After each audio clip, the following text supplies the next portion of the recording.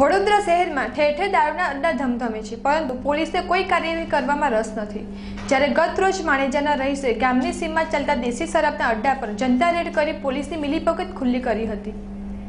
વડોદરા શહેરમાં પોલીસની મહેરબાનીથી ઠેર ઠેર વિદેશી અને દેશી શરાબનો વેપલો ધમધમે છે. આ શરાબમાં પોલીસની હપ્તા પદ્ધતિના કારણે કોઈ કાર્યવાહી કરવામાં આવતી નથી. જ્યારે બુટલેગરો ખુલ્લેઆમ પોલીસ સાથે અમારી ગોઠવણી છે, તેવા નિવેદનો કરતા ફરે છે. ગત રોજ શહેરની મક્કરપુરા પોલીસ મથક વિસ્તારની હદમાં આવેલા માણેજા ગામમાં લગ્ન પ્રસંગે ડીજે બંધ કરવા પહોંચેલ પોલીસ ક્ષોભજનક સ્થિતિમાં મુકાઈ હતી.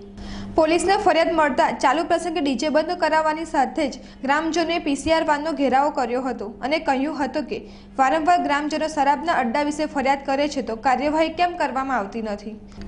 પોલીસ સામે રોષ ઠાલવના ગ્રામજનોએ બે દેશી શરાબના અઠ્ઠા પર જનતા રેડ કરી હતી. દેશી શરાબની ભૂગર્ભ ટાંકીઓને શરાબની પોટલીઓ ગ્રામજનોએ ઝડપી પાડી તેનો નાશ કર્યો હતો, જ્યારે પોલીસની મિલીભગતથી બુટલેગરો બેફામ બન્યા હોવાનો આક્ષેપ પોલીસ પર કર્યો હતો.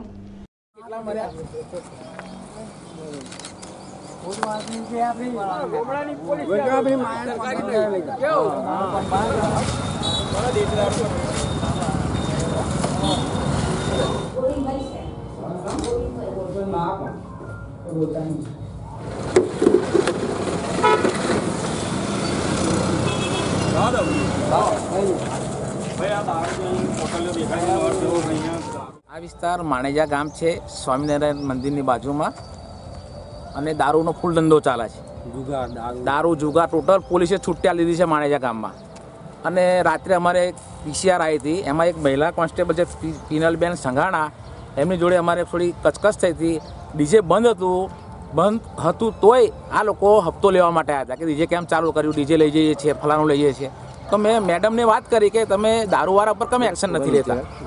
તો મેડમ કે તમારે જે રજૂઆત કરો તે કરો, મારે મારી વર્દી છે અને વર્દીને ટાઈમો મારી જે ડ્યુટી નિભાવવાની હું નિભાવીશ, તમારે જે રજૂઆત કરો તે કરો. એટલા માટે અમે આજે આ દારૂવાળા માટે અમે રેડ કરવા નીકળ્યા છે કે પોલીસ ખુલ્લેઆમ રૂપિયા લે છે. અને દારૂ ઘર પાસે પીધેલો હોય એ માણસને ઉચકીને લઈ જાય ને બે ત્રણ હજાર રૂપિયા લઈ લે છે. અને દારૂવાળા માટે કોઈ એક્શન નહીં. ખુલ્લેઆમ વેચો. માજા મીકરી છે પોલીસ ખાતાએ. આજે તમે શું કર્યું છે?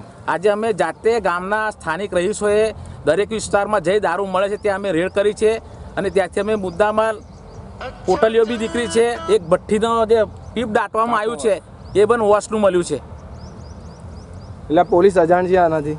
પોલીસ અજાણ જ હોવી જોઈએ ને. જાણતી હોય છતાં પણ આ લોકો કશું ના કરે. ખુલ્લા રૂપિયા મળે અમને. બેઠા રૂપિયા ઉઘરાઈ જવાના. કયા પોલીસ સ્ટેશનની હતી મકરપુરા પોલીસ સ્ટેશનની હદ લાગે છે. એમાં એક મહિલા કોન્સ્ટેબલ પિલનબેન સંઘાણા છે કાયદા બતાવતા હતા. એટલે મેડમ કીધું ઘણો બધો ભ્રષ્ટાચાર તમારા પોલીસ સ્ટેશનમાં બી ચાલે છે. બધું ખુલ્લેઆમ ચાલી રહ્યું છે અને તમે ચલાવડાવો છો.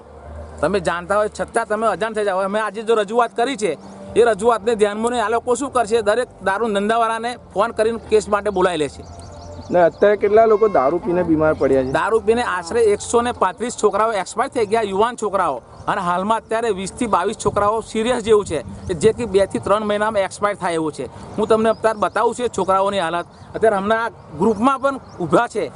એ અમારી પાછળમાં જો એક આ છોકરો છે આ જે પછી આ એક છોકરો જો આ પોલીસના પાપે આ પોલીસવાળાના પાપે આમ લોકોનું જીવન બગડે છે.